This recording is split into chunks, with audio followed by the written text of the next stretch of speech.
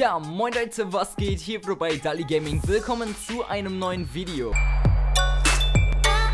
Ich weiß, ihr wolltet schon immer ein FAQ sehen. Ihr wolltet schon immer, dass ich eure Fragen beantworte. Und ihr wolltet schon immer mir komische Fragen stellen. Ihr wisst, ich hatte mein Projekt, das nannte sich Kevin kommentiert Kommentare. Ist überhaupt nicht geklaut von Kelly kommentiert Kommentare. Überhaupt nicht. Ich habe früher Kelly kommentiert Kommentare wirklich sehr oft geguckt. Wer jetzt sich fragt, was?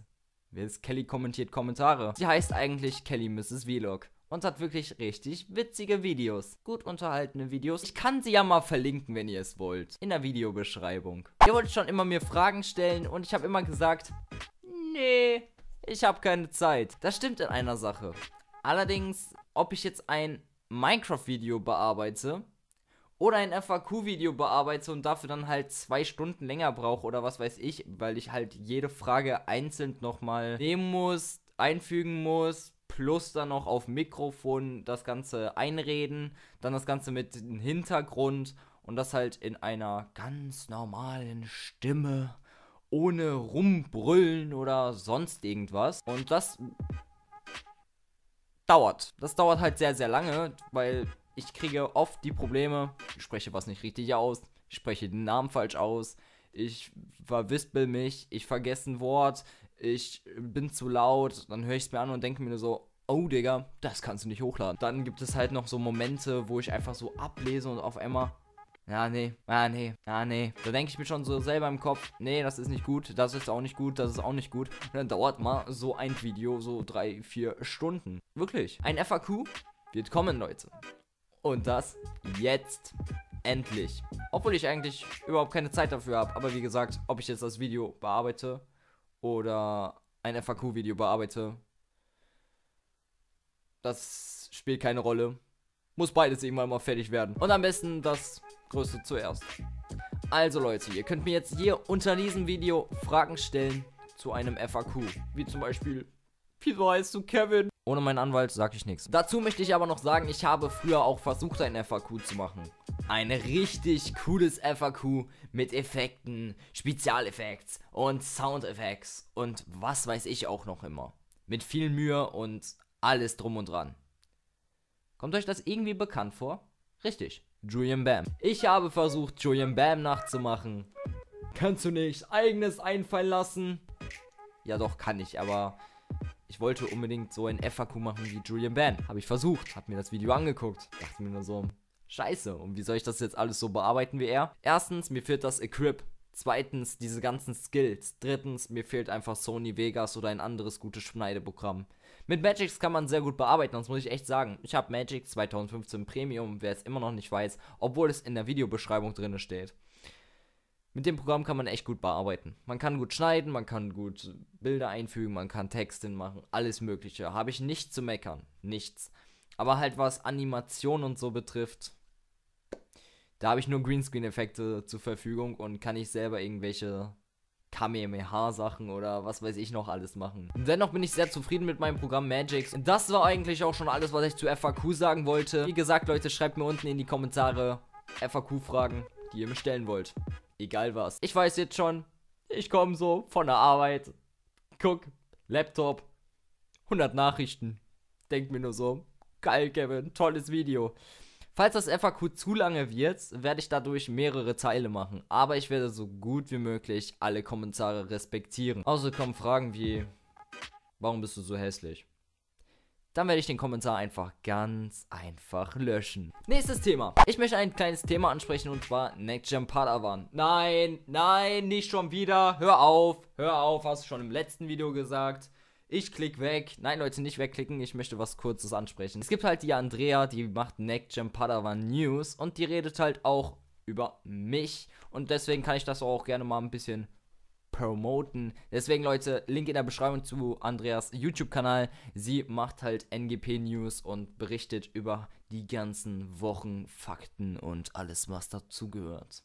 Könnt ihr auf jeden Fall mal abchecken, weil ich gucke selber die Videos immer und Gebe einen Daumen nach oben. Nächstes Thema. So Leute, nächstes Thema und wichtigstes Thema, was ich überhaupt ansprechen möchte. Warum mache ich das eigentlich jetzt hier im FAQ, da sich doch sowieso jeder nur das Video von Anfang an bis eine Minute anschaut. Ich hoffe, ihr schaut wirklich das Video zu Ende an. Wenn ihr es bis hierhin geschafft habt, Danke. Ich möchte kurz etwas Wichtiges ansprechen. Ich bin ab nächster Woche in einem nächsten Praktikumsbetrieb. Die Malerzeiten sind vorbei. Ich habe meinen Pinsel geschwungen und alles klar, ich bin raus. Ich habe halt den Maler ausprobiert, Manuel Lackierer, und anscheinend bin ich dafür nicht körperlich fit oder was weiß auch immer ich. Auf jeden Fall, ich war super nett gewesen. Ich habe Soft Skills, alles Mögliche. Er war mega zufrieden mit mir, aber der Maler soll anscheinend zu anstrengend für mich gewesen sein und dass ich das nicht packen würde. Und ich kann jetzt auch nicht hier 24-7 ins Fitnessstudio gehen, um meine Muskeln zu trainieren, nur damit ich diesen Beruf nachahmen kann. Ich mache nicht gerne Fitness. Mir ist egal, wie meine Muskeln stehen. Ich möchte hier nicht der zweite Klitschko werden. Es ist zwar schön, ja, gut, damit kriegt man halt das ein oder andere Mädel. Ist mir vollkommen egal. Man soll einen so nehmen, wie er ist. Und wenn es dann halt nicht so ist, ist es nicht so. Juckt mich nicht. Ich möchte auch ganz kurz mal erwähnen, ich bin halt im Inneren noch ein Kind.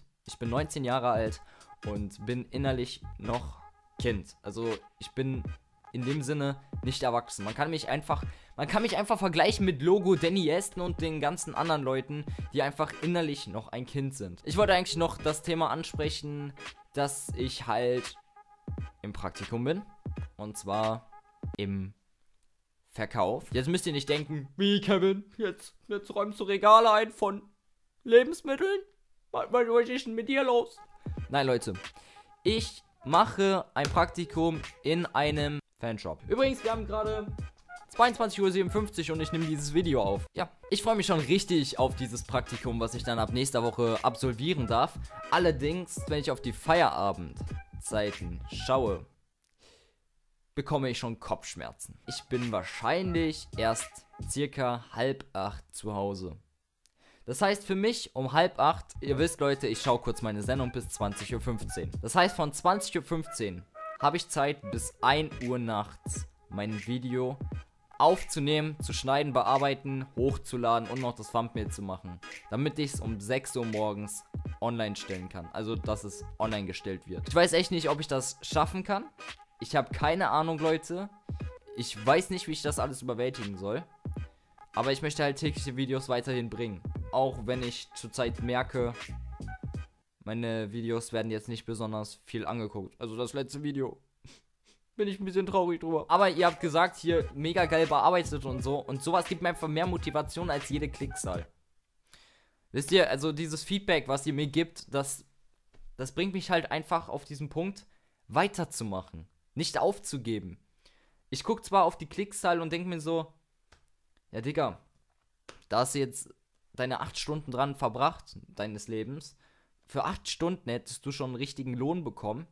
Und du hast dir da mega Mühe gemacht und würdest nicht mal dir eine Packung Süßigkeiten holen können. Eine Tüte Süßigkeiten. Da denkt man sich wirklich schon so nach, ja, warum mache ich das? Warum mache ich das? Das ist nicht wegen das hier. Ich mache es, damit ich euch unterhalte. Und ihr gebt mir euer Feedback. Und dieses Feedback was mir gibt mit geiles Video, du bist der beste YouTuber und was weiß ich. Also einfach diese ganzen, ganzen Worte, die ich von euch bekomme. Die machen mich einfach so mega glücklich, dass ich das komplette Real-Life-Leben einfach nur vergesse. Dieses Ganze mit Geld, ähm, weitere Zukunft. Ich vergesse es einfach. Weil euer Feedback bringt mich dazu, weiter YouTube zu machen. Würde euer Feedback nicht da sein mit hier, gutes Video, nices Video, hast du gut gemacht. Oder hier, du bist mein Lieblings-YouTuber, was ich immer noch übelst feier, dieses, diese Aussage. Es gibt so übelst viele YouTuber und ihr schreibt das einfach. Man denkt sich das halt so, ihr geht dann halt als YouTuber dann durch die Stadt. Ihr geht durch die Stadt, wo dieser Junge oder Mädchen, ich weiß ja es nicht, ne? Dann halt da wohnt. Und ihr stellt euch das jetzt einfach mal vor, ihr geht durch die Stadt und auf einmal kommt dieser Fan von einem Laden und sieht euch. Es ist so ein Moment, da denkt ihr euch nur so, ihr seid ein normaler Mensch und auf einmal spricht diese Person euch an, dass du ihr Lieblings-YouTuber bist. Also so stelle ich mir das jetzt gerade so vor. Und es gibt so viele YouTuber auf der Welt und auch YouTuber, die ich feiere, die ihr noch niemals feiert, die, wo ihr sagt, nee, ist nicht mein Lieblings-YouTuber, mag ich noch niemals, finde ich scheiße. Wenn ihr zu mir sagt, ich wäre euer Lieblings-YouTuber, das öffnet wirklich mein Herz. Okay, genug jetzt für heute, Leute. Ich möchte jetzt nicht gleich hier noch in Tränen vergießen. Wie gesagt, Leute, ich weiß nicht, ob ich es alles schaffe, jeden Tag ein Video rauszuhauen. Ich versuche es um 6 Uhr und wenn ich es dann nicht schaffe, dann vielleicht jeden zweiten Tag. Aber ich werde auf jeden Fall nicht aufgeben. Egal wie kaputt ich komme nach Hause, ich werde weitermachen, Leute. Das ist bei mir halt in YouTube wichtig, um euch zu unterhalten und dafür gebe ich mein Bestes. Ja Leute, das war eigentlich schon alles, was ich in diesem Video ansprechen wollte. Ich danke euch nochmal fürs Zuschauen. Wenn ihr es bis hierhin geschafft habt, schreibt ein Herz in die Kommentare. Dann weiß ich, dass ihr jetzt zu Ende geschaut habt. Also Frage und dann so ein Herz. Ihr wisst Bescheid, Leute. Stellt mir Fragen unter diesem Video für ein FAQ. Ich werde auf jeden Fall die Fragen alle beantworten. Also ihr könnt euch sicher sein, dass eure Frage dann drankommt. Ob es dann im ersten Part drin ist oder im zweiten oder im dritten. Ich habe keine Ahnung, wie viele Kommentare ihr schreibt. Also Fragen. Also Leute, das war's von diesem Video. Ich danke euch nochmal fürs Zuschauen. Wir haben es jetzt 23.05 Uhr. Das heißt, ich habe zwei Stunden ungefähr Zeit, dieses Video zu schneiden und zu bearbeiten und hochzuladen, beziehungsweise zu rendern. Ich werde es wahrscheinlich nicht schaffen und muss es dann wahrscheinlich morgen nach der Arbeit hochstellen. Ist ein bisschen belastend.